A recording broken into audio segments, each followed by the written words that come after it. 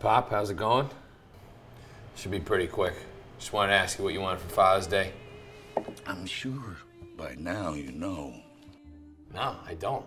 Honestly, we're not that close. I even asked some of the other guys in the mafia, but no one had any ideas. They're stupid.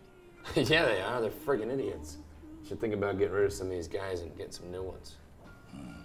Anyway, back to your gift. Last year, you said, Oh, I don't need anything.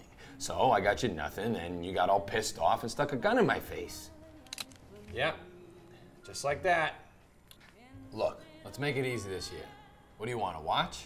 How about a watch? Okay, I can tell you're not into that.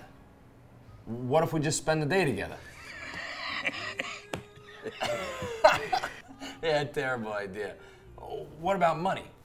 You want me to give you some money? I haven't needed money since third grade. All right, Dad. What do you want? Kill everybody. Uh, who's everybody? Everybody that works for me. All right.